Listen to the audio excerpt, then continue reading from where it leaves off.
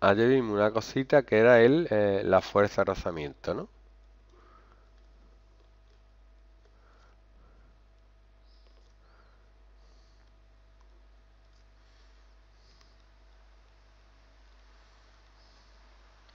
La fuerza de rozamiento vimos que si yo tenía un plano horizontal, suponiendo que eso sea horizontal, y yo pongo tiro de él con una fuerza sobre el objeto, siempre teníamos una fuerza de rozamiento que era que se oponía al movimiento del objeto. Si vamos para la derecha, la fuerza de rozamiento va para la izquierda.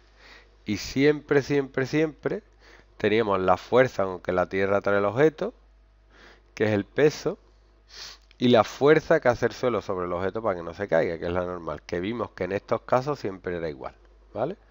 Entonces hicimos una cosa así. Dijimos, vamos a ver. En el eje X hay dos fuerzas.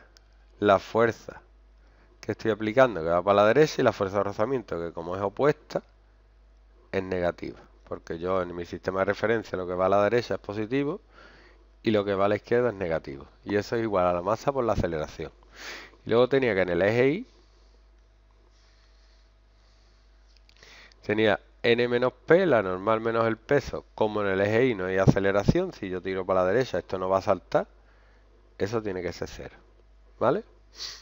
Entonces, dijimos que la fuerza de rozamiento tenía una fórmula que dependía de dos cosas. Dependía del coeficiente de rozamiento, que era lo rugosa que eran las dos superficies, y de la normal, que es la fuerza con que, con que empuja el suelo el objeto. Claro, cuanto más lo empuje, más rozamiento hay. Cuanto más pese, más roza.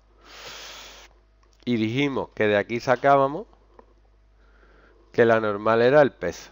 Y el peso era la masa por la gravedad. ¿Vale?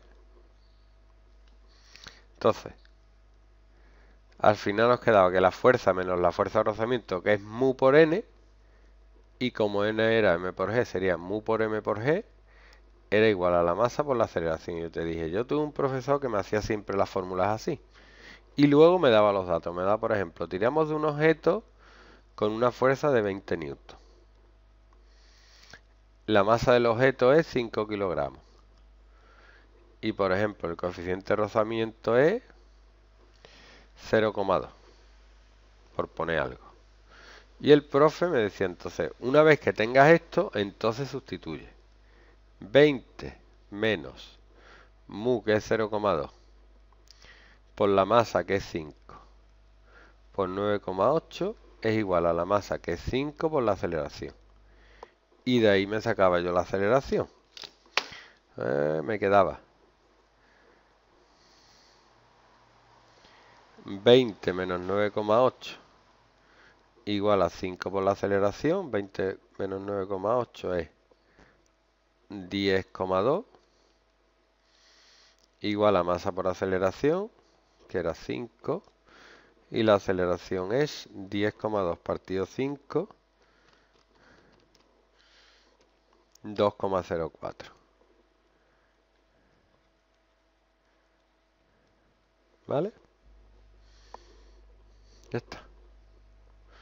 Fíjate tú qué cosa. Fácil, ¿no? Vale, esto es lo que vimos ayer. Ahora vamos a hacer una cosita nueva.